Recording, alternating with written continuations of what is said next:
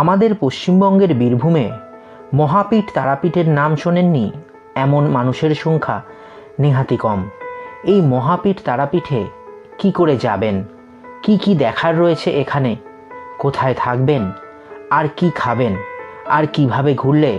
সব কিছু খুব সহজেই ঘুরতে পারবেন। সব কিছু জানানোর জন্য আজকের এই ভিডিও। চলুন তবে শুরু করা যাক মহাপীঠ তারাপীঠ ভ্রমণ। ট্যুরিস্ট ডেস্টিনেশন চ্যানেলে সবাইকে স্বাগত। আমি ডক্টর মিঠুন। আজ চলেছি তারাপীঠ ভ্রমণের উদ্দেশ্যে। সকাল সকাল কলকাতা থেকে বেরিয়ে পড়লাম তারাপীঠ ঘুরব বলে। এখন চলে এসেছি হাওড়া স্টেশনে। সকাল ছটা পাঁচের গণদেবতা এক্সপ্রেস করে আমরা যাব তারাপীঠ। তবে হাওড়া বা শিয়ালদা স্টেশন থেকে সপ্তাহের প্রতিদিন বিভিন্ন সময় তারাপীঠ যাওয়ার অসংখ্য ট্রেন রয়েছে। আপনারা সেই ট্রেনগুলি করেও আসতে পারেন তারাপীঠ। আর যারা ট্রেনে আসবেন না, তারা সড়ক পথে বাস বা নিজেদের গাড়ি করে খুব সহজেই পৌঁছে যেতে পারবেন তারাপীঠ। রামপুরহাট স্টেশনে নেমে চল্লিশ টাকার বিনিময়ে অটো করে চলে আসুন তারা মায়ের মন্দিরের সামনে।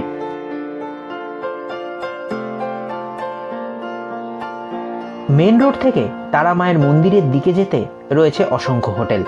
আমরা আজ থাকব ভাগীরথী ভবনে। সাধারণ মধ্যবিত্তের প্রাণের জায়গা এই তারাপীঠ। সেই কথা মাথায় রেখে ভাগীরথী ভবনে আপনারা পেয়ে যাবেন চারশো টাকা করে প্রতিদিনের ভাড়ার রুম। এসি, নন এসি বিভিন্ন ধরনের রুম পেয়ে যাবেন এখানে। যদিও তার জন্য আপনাদের আর একটু বেশি ভাড়া গুনতে হবে। ভাগীরথী ভবনের বুকিং নাম্বার আমি ডেসক্রিপশন বক্সে দিয়ে দিলাম। এই ফোর বেডেড রুমের ভাড়া নিয়েছিল পাঁচশো টাকা করে প্রতিদিনের।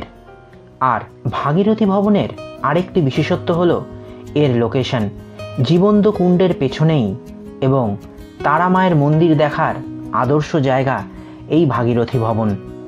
স্নান করে পায়ে হেঁটে চলে আসলাম মন্দিরের মূল ফটকের সামনে। উত্তর বাহিনী দ্বারকা নদীর পূবপাড়ে অতীতের চণ্ডীপুর আজ হয়েছে তারাপীঠ। কারও কারও মতে একান্ন পীঠের এক পীঠ। তবে মা সতীর চোখের ঊর্ধ্বনেত্রের মণি, অর্থাৎ তারা পড়ার সতীপীঠ নয়, মহাপীঠ তথা সিদ্ধপীঠ বলে খ্যাত তারাপীঠ। মন্দির কম্পাউন্ডে ঢুকে বাঁ দিকে রয়েছে বেশ কিছু ডালার দোকান। সেখান থেকে নিজের পছন্দ মতো ডালা নিয়ে দাঁড়িয়ে পড়ুন লাইনে। এখানে বলে রাখি, তারাপীঠে মায়ের দর্শনের জন্য রয়েছে বেশ কিছু লাইন। সাধারণ লাইন ভিআইপি লাইন এবং very VIP line. Tarapith Hindu ধর্মের শক্তি আরাধনায় স্থান করে নিয়েছে ঋষি বশিষ্ঠদেবের জন্য। বশিষ্ঠদেব বহু বছর ভারতের বিভিন্ন সাধনপীঠে সাধনা করেছিলেন মা আদিশক্তির আদিরূপের দর্শন পাওয়ার জন্য। এমনকি তিনি শক্তিপীঠ কামরূপ কামাখ্যাতেও সাধনা করেন, তবু তিনি অকৃতকার্য হন।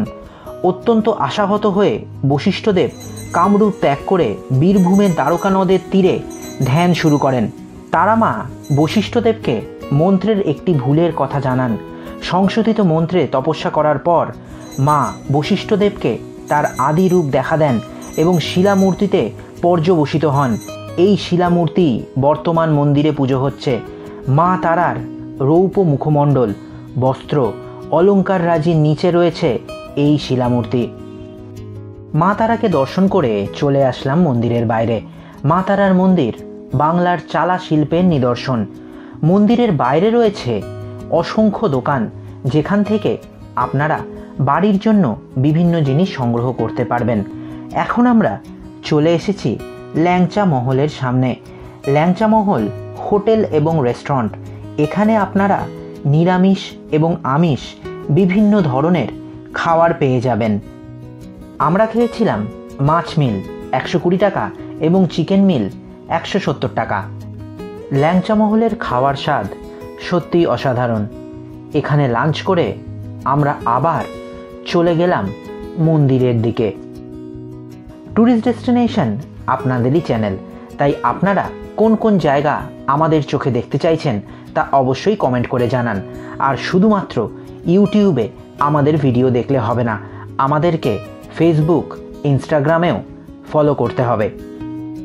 ঘুরতে ঘুরতে এখন আমরা চলে এসেছি তারাপীঠের আর এক উল্লেখযোগ্য তারাপীঠের মহাশ্মশানে।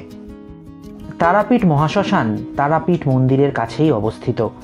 তারাপীঠ মহাশ্মশান তান্ত্রিক আচার অনুষ্ঠান করার জন্য একটি সুপরিচিত স্থান। তারাপীঠের অন্যতম প্রধান আকর্ষণ বামাচরণ চট্টোপাধ্যায় তথা বামাখ্যাপা। তন্ত্রধর্মে তার স্থান প্রশ্নতাতীত উচ্চতায় স্থিত। তাকে ঘিরে যেমন আবর্তিত হয়েছে বাংলার তন্ত্রচর্চার একটি বড় অধ্যায়, তেমনি তিনি কেন্দ্রবিন্দু হয়ে রয়েছেন অসংখ্য কিংবদন্তিতে। তারাপীঠ মহাশ্মশানে রয়েছে তারামায়ের চরণ যুগল। এখানে আপনারা পুজোও দিতে পারবেন। আর তারা মায়ের চরণ যুগল মন্দিরের পাশেই রয়েছে বামাচরণের বা বামাখ্যাপার সমাধি মন্দির। মহাশ্মশান থেকে আমরা এখন চলে এসেছি সাধক বামদেবের ঘাটে। এখান থেকে দ্বারকা নদী খুব সুন্দর দেখায়। নদীর পাড়ে বেশ কিছুক্ষণ সময় কাটাতে কাটাতেই নেমে গেল সন্ধ্যা। সন্ধ্যায় আবারও চলে আসলাম মায়ের মন্দিরের প্রাঙ্গণে। তারাপীঠ মায়ের মন্দির সকাল পাঁচটায় খুলে রাত দশটায় বন্ধ হয়। যদিও দুপুরবেলা কিছুক্ষণ মায়ের মন্দির বন্ধ থাকে। এখন মায়ের সন্ধ্যা আরতি চলছে। মানুষের মধ্যে মায়ের কি মহিমা, তা নিজের কানেই শুনুন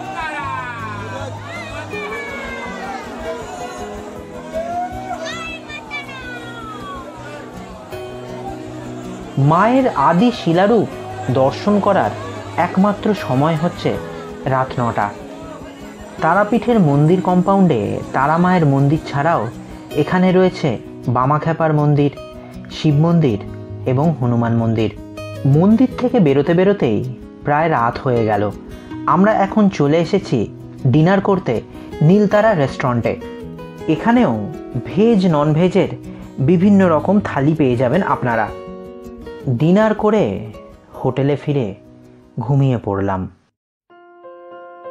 আজ আমাদের দ্বিতীয় তথা শেষ দিনের তারাপীঠ ভ্রমণ। সকাল সকাল চলে আসলাম মন্দিরের প্রাঙ্গণে।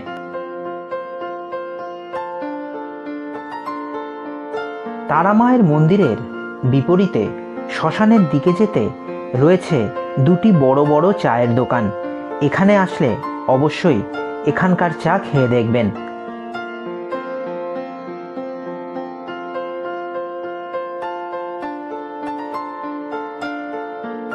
তারামাকে সকাল সকাল দর্শন করে তারামায়ের গোশালা দেখে এবং জীবন্ত কুণ্ড দেখে এবার আমরা ফিরে যাব কলকাতার উদ্দেশ্যে।